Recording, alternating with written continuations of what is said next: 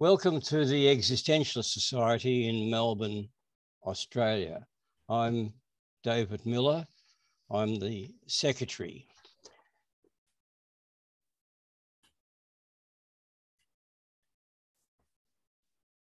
Today's speaker is Dr. Tim Themi, and his topic will be eroticizing aesthetics in the real with Bataille and Lacan. Now, Tim, amongst other things, is the author of a book by that title, and he'll be discussing issues raised in the book. And following his presentation, there will be ample opportunity for questions, comments, and discussion. Tim. Thank you, David, and thank you to the uh, Existentialist Society of Melbourne. It's a pleasure to be here, uh, beaming out from Melbourne to to the world as we are now able to do in the Zoom era. The one positive thing, perhaps, that came from COVID is our ability to connect in this way all around the world, um, almost at will, to discuss uh, our favorite things, such as philosophy, philosophy is what I uh, usually teach. I also teach some psychoanalysis at the Lacan Circle of Australia.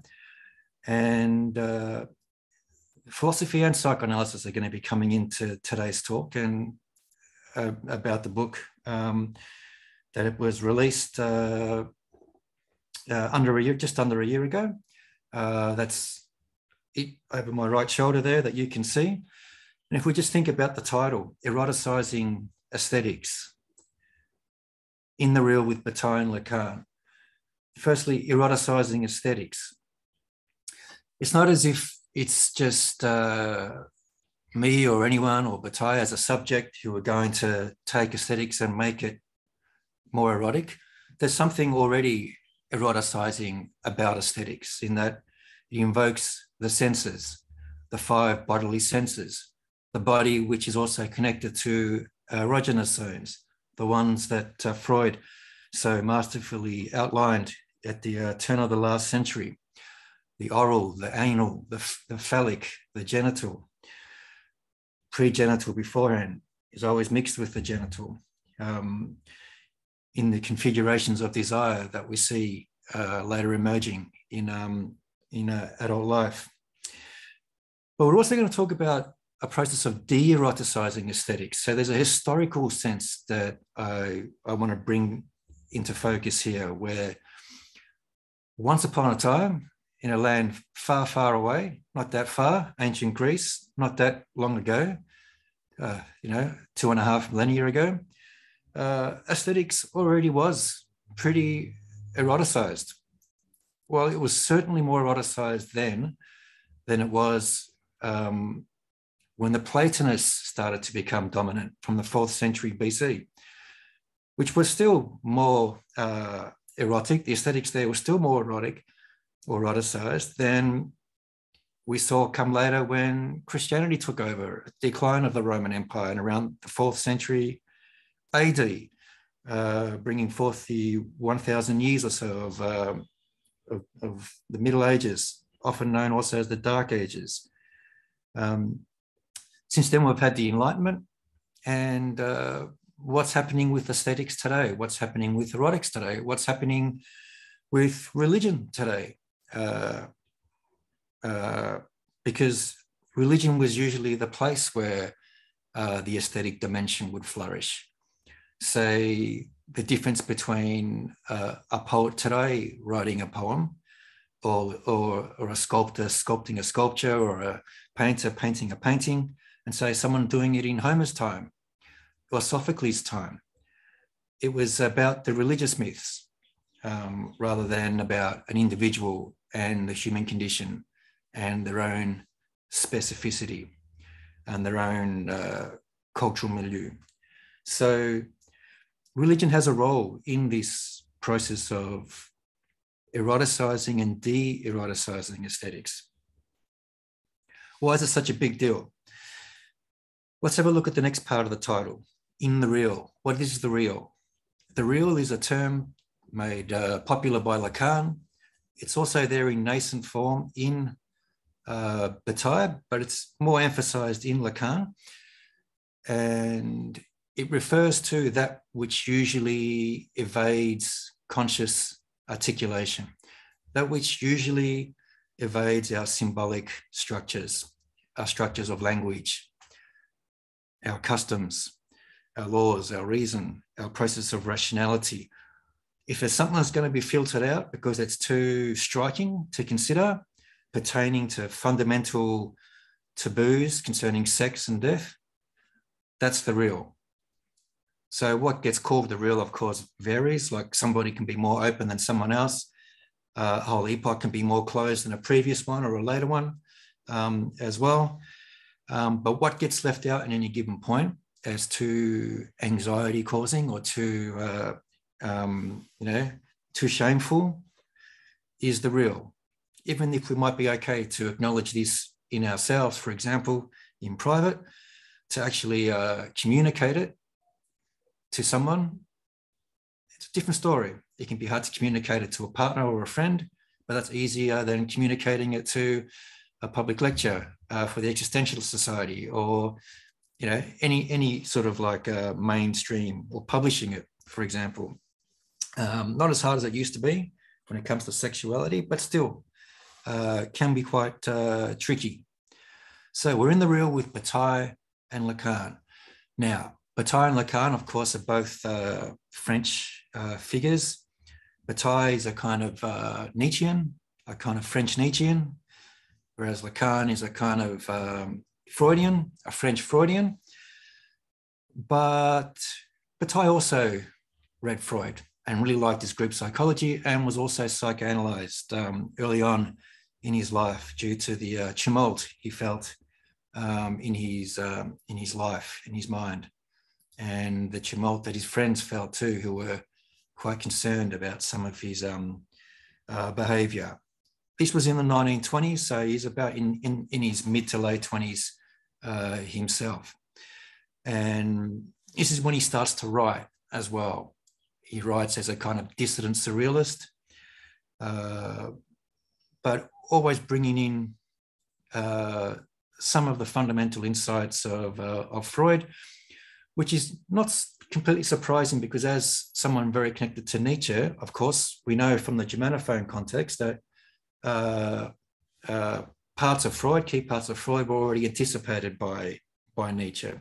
So there's that sort of connection too. So we've got Bataille and Lacan, and the implication is also Nietzsche and Freud. And then some of you might know that Lacan and Bataille uh, knew each other.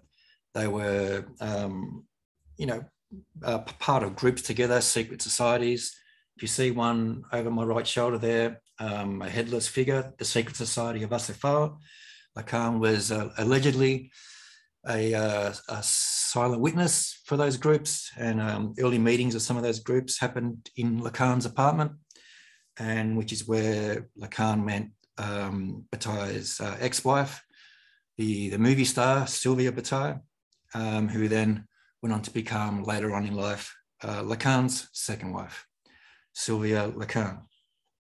Okay, so eroticizing aesthetics in the real with Bataille and Lacan. Now,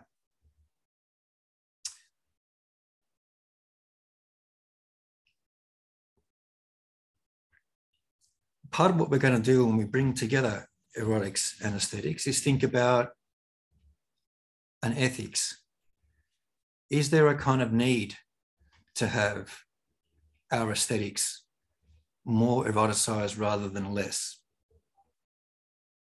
If we don't get to express our eroticism in aesthetics, where do we get to express it?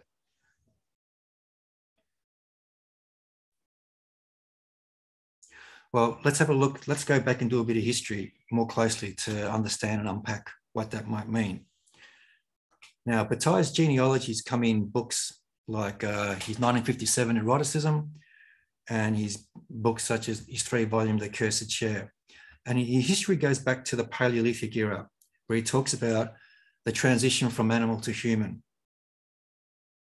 where we were once animals in the Paleolithic era or very close to the animals, but we put taboos on our animality, those drives pertaining to sex and death, in order to establish an order of things, work, a humanized world, a world of utility, a tool using world. So, use the example of if you want to, uh, if there's a storm coming, you need to build a shelter you need a steady state of consciousness to work out what are the materials, how are we going to do this?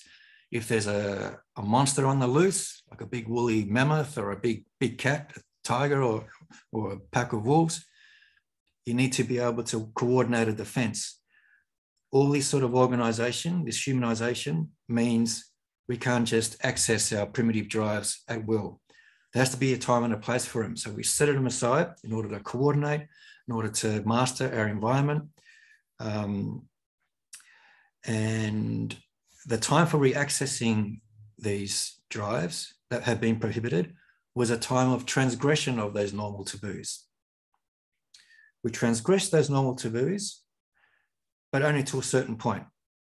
It's just that, and we sort of still have that today, right? Where we work Monday to Friday, and then Friday night, Saturday night, Sunday night, we we don't work we play uh, we're transgressing taboos that are normally in place during the week or prohibitions and in primitive times that was traditionally done in uh, in religious ceremonies religious rituals um, and animality was something that still deeply stamped the gods and the goddesses um, in in these times all the way up to the we see this even in the Egyptian gods and the Greek gods, where there's always animal accoutrements. There's a little owl statuette up on top my top shelf there, which is of course Athena's um, animal epithet, but they all had uh, animality attached to them. Dionysus uh, and the snakes, Apollo, also called um, Pythion, slayer of snakes, slayer of Dionysus, um, in terms of the cycle between the two that, that existed in Delphi. But Bataille's point here is that uh, those sexual and violent impulses that were prohibited in order to work and function in a humanized world, build shelters, law, reason, custom, uh, societies. Uh, when we re-access them after a period, they're not the same as what they were when we left them behind.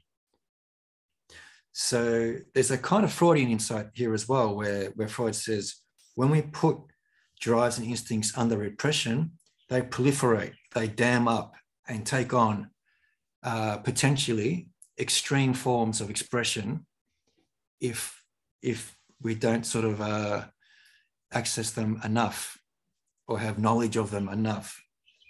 If we try to double up on um, prohibition.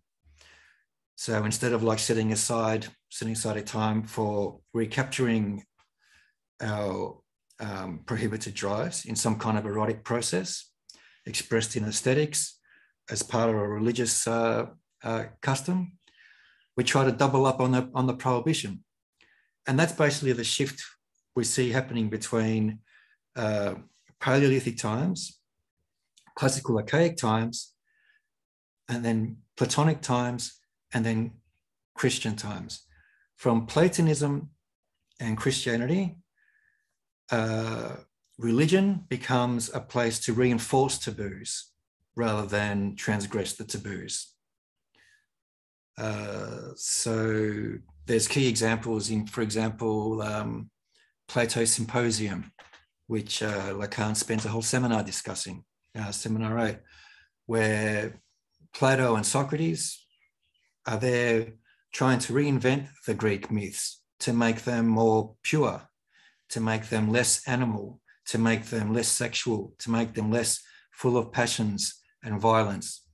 Uh, and you might think that's good, especially coming from where we are in history. Oh, yeah, like Plato says in the Republic, we, we can't see great kings and gods and goddesses like acting in this way, full of passions, full of lust, because then we're going to copy it too. So we've got to make them pure, right? Like like Jesus and Mary eventually will be, right? We've got to make them pure so that we can reinforce our purity, um, turning away from the body and the drives. But the thing that's wrong with that is that the gods and the goddesses weren't necessarily there for us to copy or emulate. Uh, in fact, that was hubris to try and copy the gods and goddesses. They were there to teach us something. They were there to, to create a sort of mirror of what our desire is and give us some access or recapitulation of those drives and desires in key moments, such as the festival.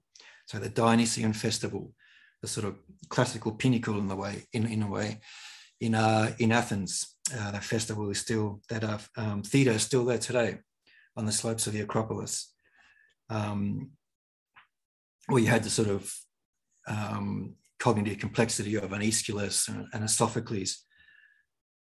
Not Euripides, though, according to uh, Nietzsche. And this is where we see that transition point, because as Nietzsche puts it in his Birth of Tragedy, and as Lacan says, like uh, Nietzsche puts his finger on it in, in, in the Birth of Tragedy in pointing to a profound incompetence every time Socrates and Plato touch on the topic of tragedy. And in fact, when we get forward to Plato's Republic, uh, Plato wants to ban Homer. He wants to ban the old poets and the tragedians because their representations of the protagonists aren't uh, pure, moral, and rational enough. Euripides started to do that. And that's because he was mates with Socrates. And that's what sort of uh, Nietzsche kind of points out that we start a kind of distortion of the normal taboo transgression relation. And this gets exacerbated in the Platonic era. And we've got to remember that Plato's writings are fourth century BC, the uh, intellectual and creative climax of classical Greece, as Lacan calls it, the fertile moment, the climax, the intellectual climax, was sixth and fifth century BC, BCE. Right? So the 500s BC and the 400s BC.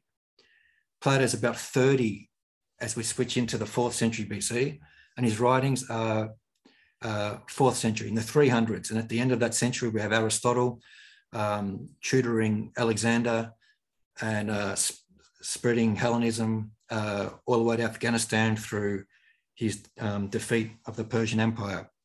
But that's a different Hellenism that's happening there. It's uh, the Hellenistic era. And so when the Romans take over, that also becomes part of their repertoire.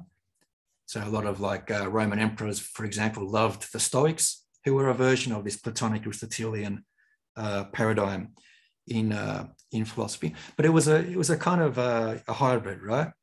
It was only when Constantine later decriminalizes Christianity, becomes a Christian himself, makes it sort of fashionable, and then afterwards, think it was Theodosius, um, went from Christianity being decriminalized to it being criminalized not to be Christian. And that's when the apocalyptic events start the genocides, the book burnings, the temple sackings. Um, the original polytheists get labeled uh, pagans, which means rural barbarian peasant or something like that. A very ironic title given the myths that were believed, the Christian myths that were adopted, like so far after the founding of Western science, to really adopt these resurrection myths and parthenogenesis myths. Um, so far after we've had science and enforce belief in them literally and murder people who don't believe it or have a different interpretation of it was an extraordinary loss in intellectual development and standard. And this is something that Nietzsche never stopped um, uh, bemoaning. Um, all the scientific methods, he says, were there with their schools, centuries old, lost overnight. When Christianity took over uh, on soil that was prepared for it by the denaturalizing or anti natural aspects of Platonism. So, Christianity, how does it exacerbate it? I think Lacan's phrase from Seminar 17 here um, is important. It's by splicing Platonism with Yahweh's ferocious ignorance. What's Yahweh ferociously ignorant of? sexual knowledge and sexual and sexual relations and religious practices that involve some kind of uh, uh, imbrication with nature and sexuality. Uh, so we have a pre-existing sort of denaturalizing tradition in uh, in the Hebraic tradition, which Christianity then draws from there and from the Platonists, and that's how we end up uh, what we had in, in, the in the Middle Ages, which was a very strict uh, taboo structure. Not only was there was religion not a time to reaccess prohibited animality, but um, animality was more prohibited than ever before. Um, for example, in sexual mores. Um, and then modern science or the modern world, does this improve things? Uh, not quite. Uh, for Nietzsche, the Enlightenment, uh, or what was positive for Nietzsche was the Renaissance, but it wasn't allowed to go back far enough. It sort of got stuck a little bit with Plato and Aristotle. And instead of being able to stay there until it recaptured the, the classical era uh, period more fully, the, uh, the, the Protestant Reformation took over. And then everyone had to compete for how pure and, and uh, or Puritan they were um, again. Uh, the Renaissance brought down, says Nietzsche, when, when that mad monk Luther went to Rome and said, Here I stand, I can do no other. Now, this leads into probably the most dominant and pernicious ideology we have today, the um, ideology of capitalism. How? And this is where Bataille's engagement with Max Weber is very important. It's through uh, from Luther we move to Calvin. And Calvin has this idea that God rewards the rich. Or through Calvinism, the idea emerges that God rewards the rich. If you're rich in this world, if you've made a lot of money, it's because you're one of the predestined ones. So there's the myth of predestination that takes over there. You're one of the predestined ones. Um, so there's no ill-gotten gains, to use the Marxist term. It's uh, you showing that you are predestined as one of the good ones who will go to heaven, unlike the bad ones who are all poor. So don't help the poor. They're clearly not predestined. You help yourself make more money to show how you are the predestined one. And it was the English Puritans in the uh, in the second half of the 17th century, uh, as Bataille points out, that really pushed this uh, to an extreme and gave birth to the uh, the world of the bourgeois, the uh, the you know the world of the of the uh, of economic laws and and reason, so called, very easily corrupted as we know today with the massive uh, wealth inequalities we have and constant uh, um, imperialist wars being waged between um, kleptocrats of various nations, Western ones being the richest so if you're a Calvinist, you think it's because they're the best. If you're if you're critiquing Calvinism, you think is that because they're the best crooks. So I um, put that one as an open question for you. Now, what's Bataille going to do with all this? So he sketches out this genealogy after the war, right? So this is his 1949, 1950s work. The 50s were his last productive decade. and this is all what I covered in chapter one. Now in chapter two, I wanted to go back and look right at the start at this uh, erotic story he wrote, Story of the Eye. And it's going to give us a clue as to what's all this political stuff got to do with this erotic stuff, right? Or this sexual stuff. Um, and the thing about Story of the Eye, so it's written in 1928, was uh, that it was written while Bataille was in analysis uh, with uh, Borel, one of the first French psychoanalysts. And we see in the sort of signifying play that happens um, in, in the book, for those of you who read it, there's the eye, uh, then there's an egg, which becomes an egg, which might become the saucer of milk, which might become the sun, and all the usual sort of verb object relations that go with each object start getting crisscrossed. So, and that's how you have um, an eye usually cries. So it might cry or see, right? So it involves light or um, tears. But if the eye is then like the saucer of milk, then an eye could cry uh, milk instead of tears, or uh, somebody could drink my eye as if milk could come out um, which is what uh, Simone, the female protagonist, does to the to the male narrator. She was drinking my left eye, sucking my left eye, um, as if milk would come out. And this kind of crisscrossing happens throughout the, the novel.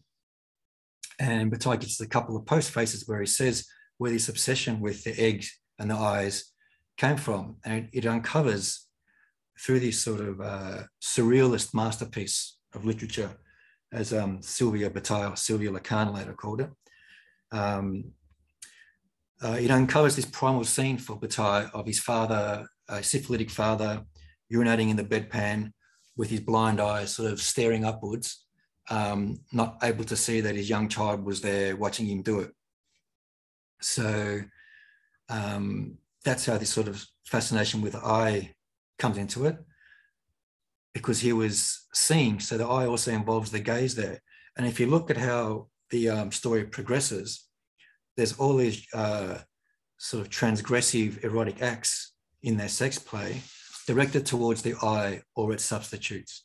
So, for example, the narrator and Simone in their sex play are fascinated with um, doing things to eggs, peeing on eggs, peeing on eggs, then flushing them down the toilet, filling a bathtub up with eggs and crushing on them, peeing on them while crushing them. And this sort of uh, series of substitutions eventually gets located at the end on a priest, where they enucleate the priest, roll the eye over Simone's body. It's like the gaze caressing the flesh. Simone slips it into her vulva, where Bataille's narrator sees it staring at him, crying tears of urine these tears of urine are also connected to his um, an episode where his mother went mad and they found her in a creek after she tried to kill herself. And Bataille found her there and it looked as if when she stood up, her dress was pissing the creek water, the way it was sort of stuck uh, to her leg and all the water was sort of dripping down. So we have the sort of masculine and feminine sort of identify, early identification playing out there too. But if you sort of carefully like look at and you can do this to a certain extent with Sade's works as well, which Bataille was, uh, and all the surrealists were interested in, is that the figures with which they are, they are obsessed with corrupting, um, uh, Marcelle, their pure sort of blonde, um, frigid friend, um, who then goes mad and dies, kills herself, like Bataille's mother tried to, um, hence an unconscious connection. But to, to take it out in the figure of the priest in the end, it was all about taking it out against the sort of the eye of bad conscience that had been installed like a panopticon through this Christian structure that was fixating taboos in this way, not allowing a proper space for erotic transgression, so that when the transgression came out, it will be wild and violent and uncontrollable. And what this story is unconsciously doing is trying to locate where the source of this repression is to to un, unstick it or unpick it, if you like, to re-immerse us back into the fluidity of the real, the fluidity of the licentious Simone's vulva, urinating through an eye, gazing back at us, which we're gazing at. So we can reconfigure the taboo transgression relations. So we see there that what starts as a surrealist erotic novel which uh, which seems to have nothing to do with reality, some suddenly has everything to do with uh, reality. Bataille's psychoanalytic reality, which of course is not his alone. Uh, there's key parts of his primal scene that we can relate to Wolfman's or any of Freud's case studies. Um, we could probably relate it to some of our early um, experiences of discovering sexual difference um, during the phallic phase, um, where the little kid typically doesn't know about sperm and egg where babies come from, wonders if what's happening in his parents or her parents' room, uh, wondering where babies are born from. Does it involve urine or, or, and feces? That's what they often assume, because there's no there's no semen or ovulation yet. They're only five, four years old when they start becoming cognizant of this stuff. And this stuff comes out in our later sexual practice, our, our, later, our later sort of erotic preferences. So if you can go on to any um, uh, sort of a Pornhub sort of sort of site and see all the sort of oral and anal kind of uh, acts of, of pleasure um, and scopic acts and, uh, uh, and and phantasmatic scenarios played out that relate to you know the the the writer's own experiences or what the consumers generally like, so it relates to their experiences. So we see where this sort of uh, these sorts of preferences come from, and how some of them are pretty much uh, naturally ingrained and better to acknowledge um, rather than repress and then act out in some kind of aggressive form. And also um, the kind of the almost like a kind of political consequence where or ethical consequence where we need some transformation or some we need to reform our morality in some ways um, because uh, this stuff repressed in the unconscious does damage to the subject does damage to the society does damage to the culture and actually and um yeah, there's some gratuitous violence in Story of the Eye, but it, it's it's not at the level of uh, say Sade's. Sade was like he spent his life in prison, so he's uh, got more to be uh, aggrieved about. But um, and he wasn't clear, Sade, on the relation between taboo and transgression. And Lacan sort of brings this out too, um, that uh, Sade thinks he can have unlimited transgression as if there's no corresponding role for taboo. But the opposite side of that is Kant, who thinks we can be purely formal without having any transgression, just be like purely moral and reason. And that's why Lacan famously brings those two together. Uh, Kant avec Sade, uh, where the latent truth of Sade is Kant, the latent, latent truth of Kant is, is Sade. Because uh, Sade is the sadist, if you like, even though he's just as much masochist at times, uh, is to crusade and, and, and, moralize in some ways. Whereas Kant's uh, moral, rational ethics doesn't really repress desire, but inflames it and creates this sort of uh, sadomasochistic kind of uh, um, uh, outburst as a result of this uh, inflammation, just as we've seen in the history of Christianity. It's like Freud says when it comes to love thy neighbor, the, um, the, the, the, cultures and, and nations that take up this ideal, uh, their, historic, their historical accomplishments or their historical record doesn't measure up very well according to this ideal. If you consider all the crusades and the inquisitions and the constant wars which are going on to this day and at this moment, all in the name of the good, of course, but um, we can see other motives playing out behind that veil. Okay, so from here, I wanted to look at what what other kinds of aesthetics Bataille intervened in and also wrote himself because he was an artist. He was not just a philosopher of art, he was also a novelist. He was not just a novelist, he was also a philosopher of art. So we have those rare occasions where we get, um, you know, sometimes you can have a great artist who's not very philosophically developed and you prefer they didn't say much at all. Just, stay unconscious or don't, don't spoil it for those of us who enjoy your work. Where others can be very intelligent, uh, uh, sophisticated um, uh, philosophers of art, but not almost have no creative bone or instincts in their body. Like their own art is pretty amateur, or you know they don't even bother bother at all. But sometimes you get figures who can do both, and Bataille is one of those um, amazing figures. But straight after this story of the eye, he got into this massive dispute with Andre Breton, the uh, founder of Surrealism, and uh, and this happened through a, a journal that Bataille started uh, editing from about 1928 to 1931 called Documents.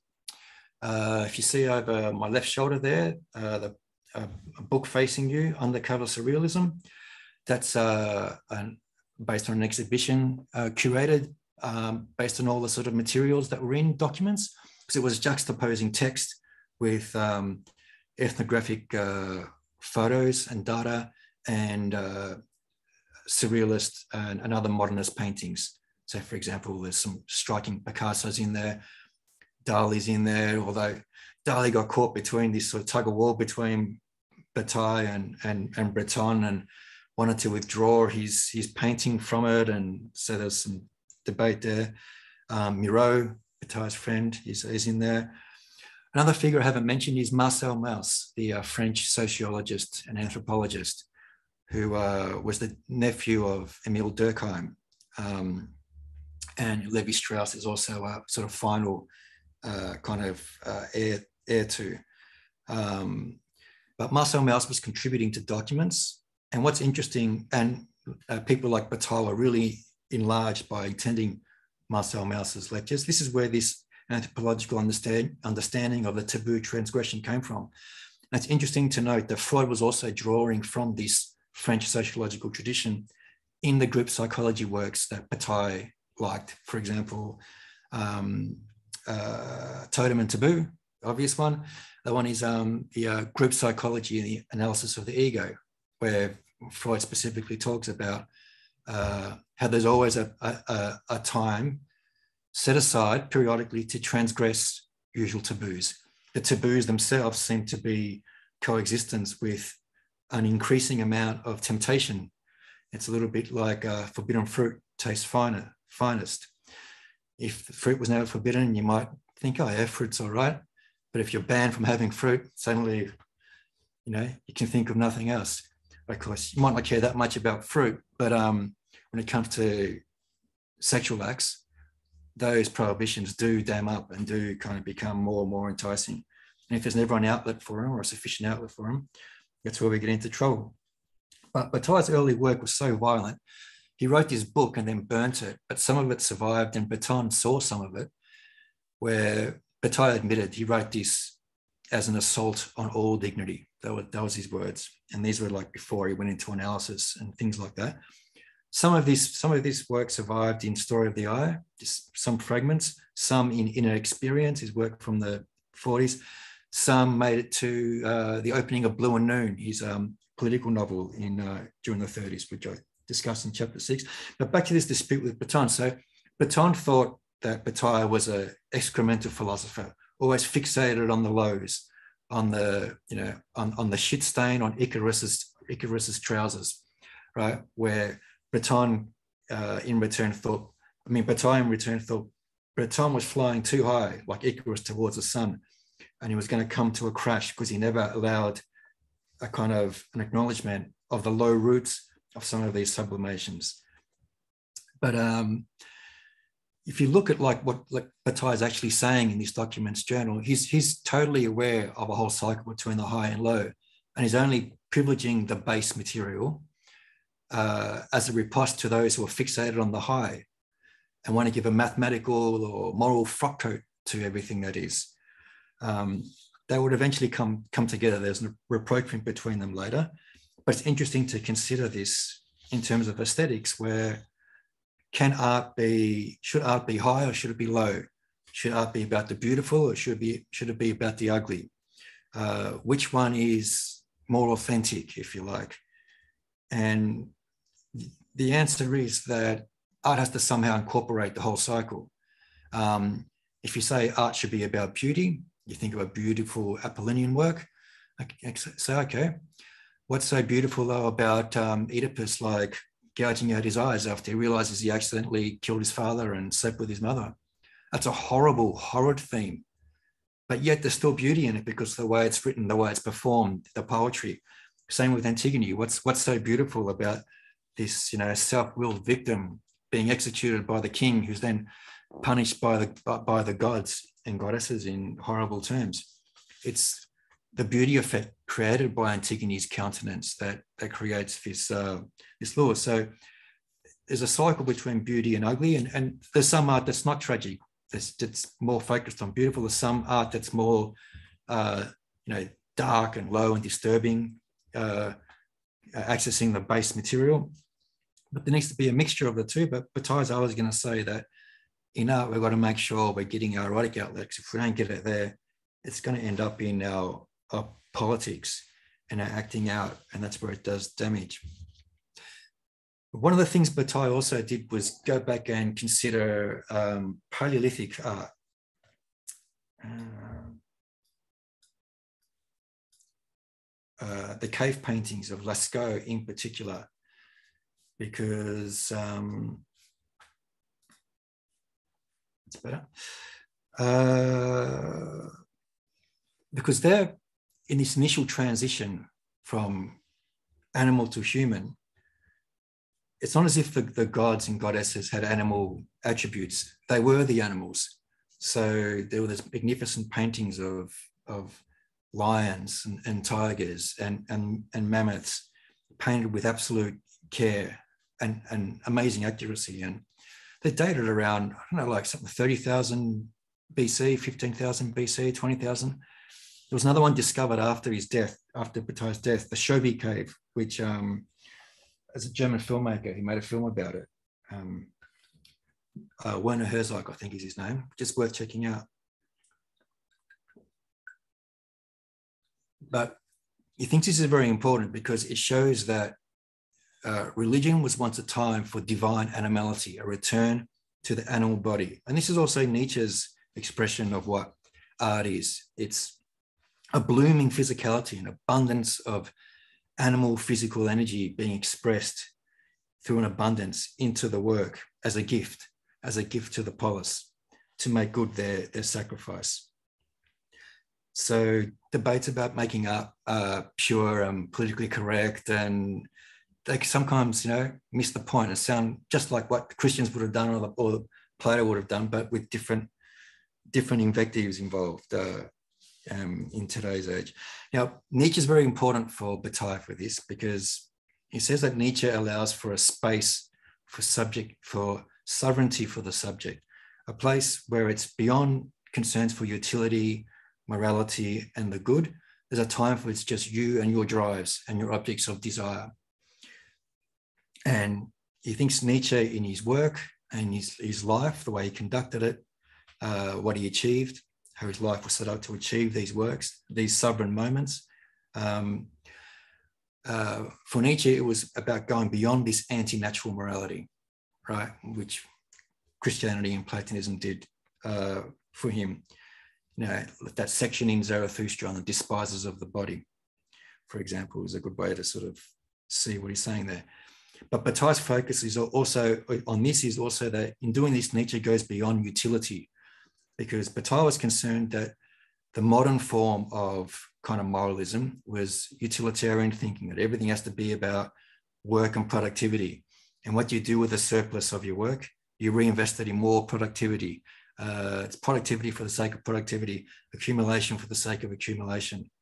And so one of Bataille's watchwords became about having a space or a time for a transgression of those normal taboos so we can be non-productive so we can have non-productive expenditure so we can do something that's not useful art should be not useful not productive.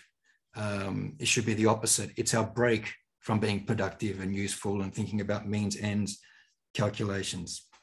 This is something that comes out in Bataille's intervention into aesthetics in all different periods and all different fields uh, of the art. Uh, chapter four here I wanted to talk about modernism and how surrealism as a branch, or how modernism in general, made use of both Nietzsche and Freud. Uh, but paradoxically, so we think modernism, it's all about the new, right? Make a new, goddamn it, as one of the, the key figures said. Um, but the paradox there, the irony there is that Freud and Nietzsche were influenced because they went back to the old and that's how we find this sort of paradox where primitivism is a part, a branch of modernism.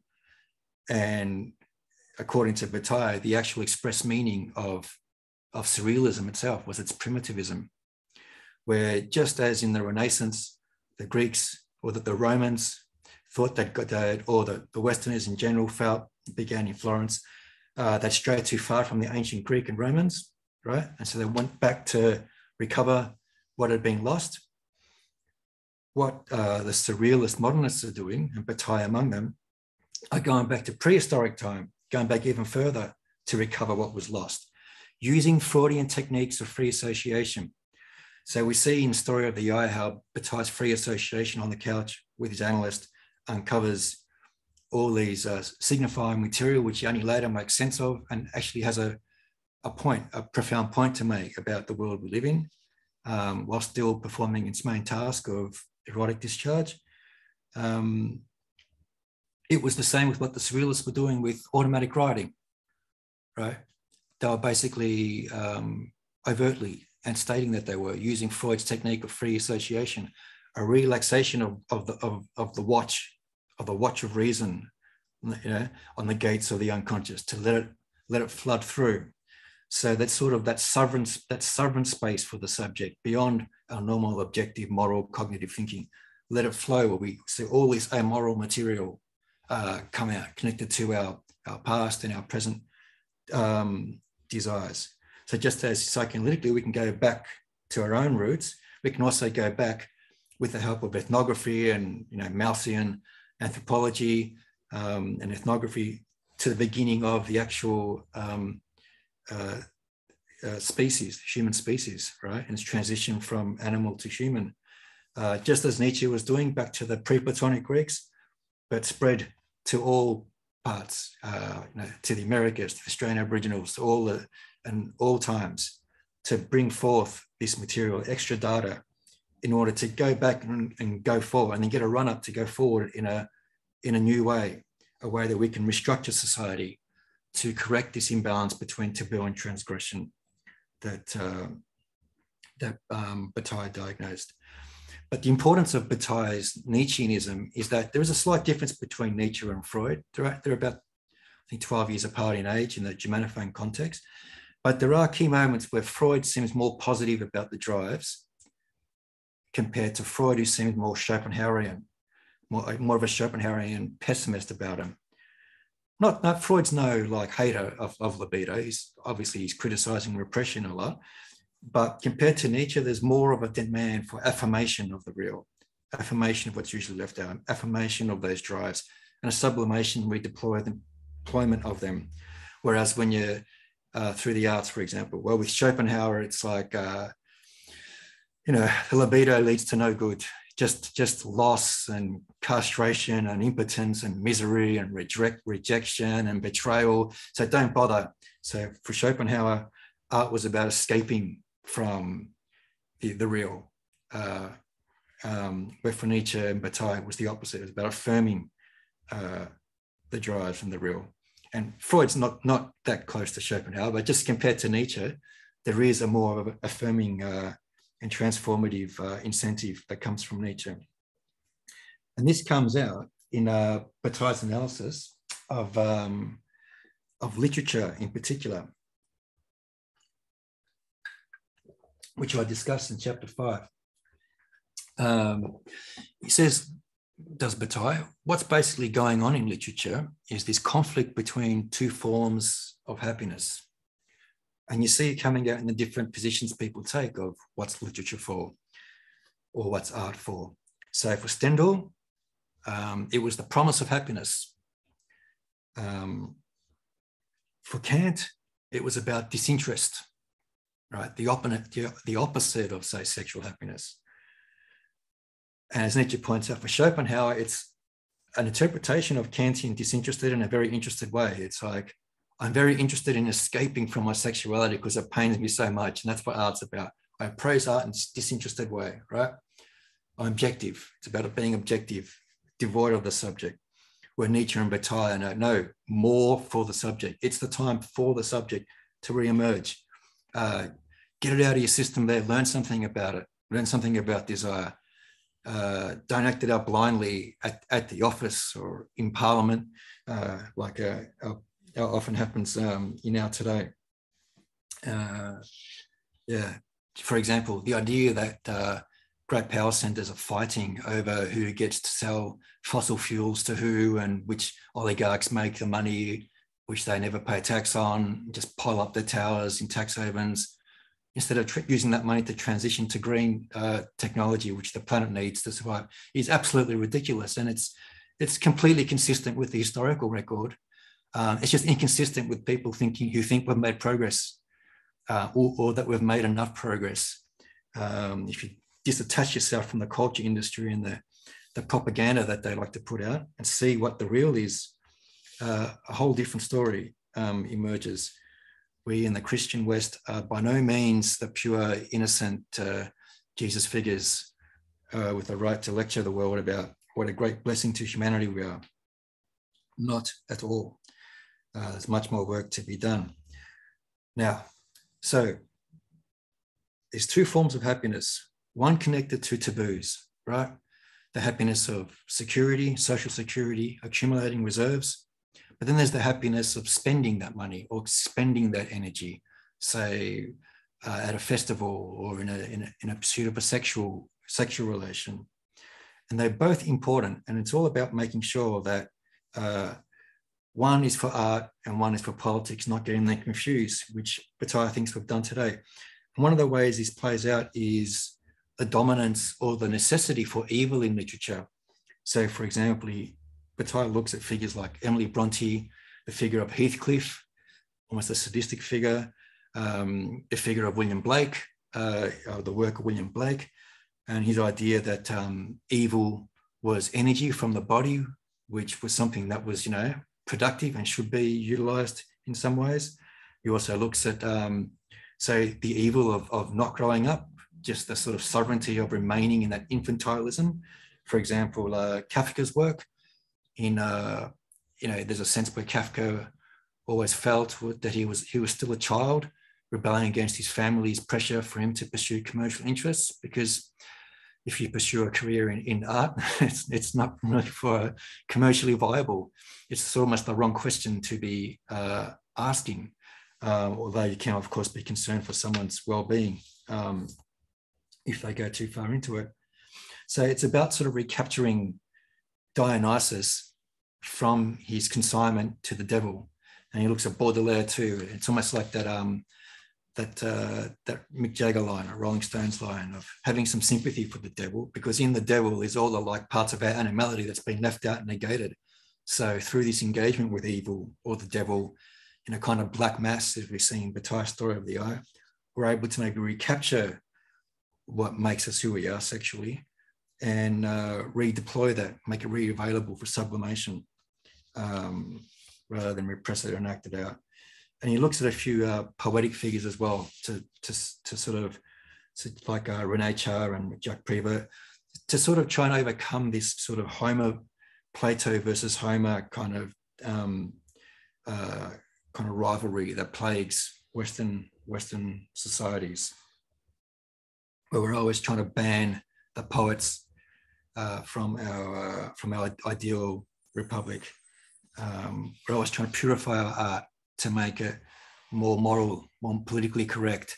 Uh, we're always trying to, you know, ban and censor pornography or nudity um, and a whole host of other other things. Now, the final chapter, chapter six, uh, I thought it'd be interesting to then think about, okay, Bataille's coming up with this separation between art and politics, right? Art connected to transgression of normal taboos, reaccessing of erotic animality, and then politics connected to respect for taboos, where we're able to be rational and reason and fair and, and equitable in our distribution and accumulation of resources. Um, so can we never mention politics in art at all? Um, or isn't there some way that we still can? Now, in our topsy-turvy world, there's a sense where we, we always have to in some ways we, we, because nobody's uh, sufficiently acknowledging certain deficiencies within politics.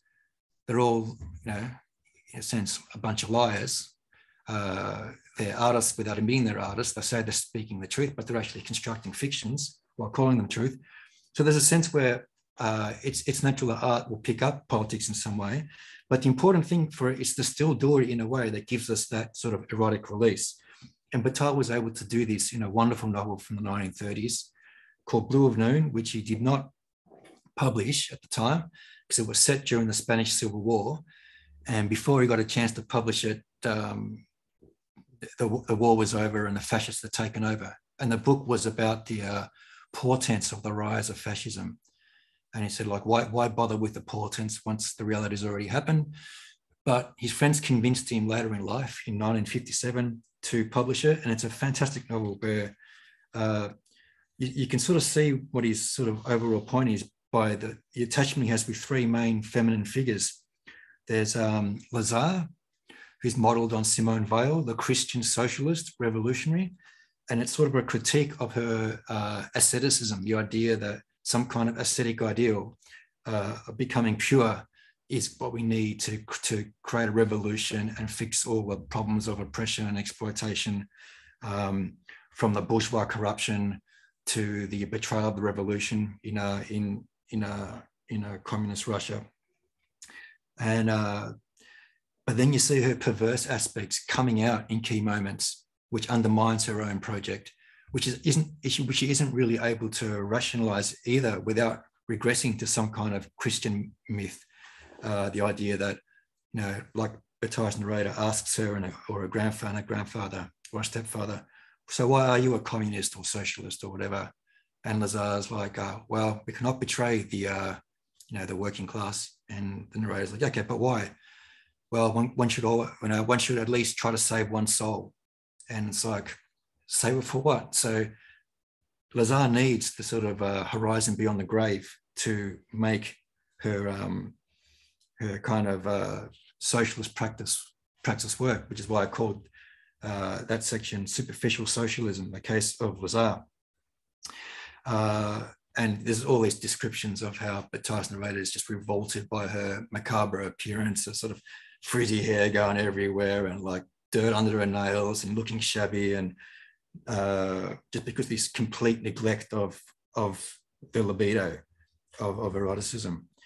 Um, and then there's a second uh, uh, connection that the narrator makes with a figure called Xeni, um, who sort of stands in for the sort of superficial surrealist, the dilettante who sort of you know reads this journal and reads that journal, it keeps up, professes a communist views, but really has not touched uh, the base, the real.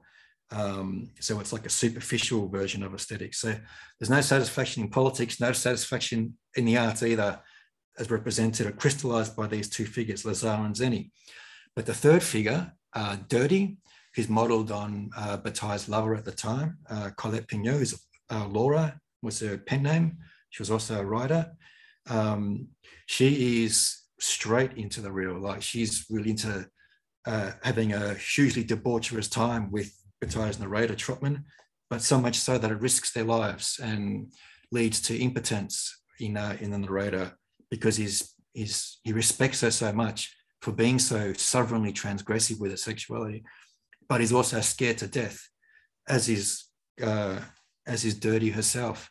And this means he can't perform, so Dirty leaves him. And then there's a sort of reunion at the end where they get back together and, and Troppmann sheds his connections with Lazare and Xeni, And this sort of connection where they're working through, Dirty still got these horrible like uh, impulses. Like she apologizes for not being dead.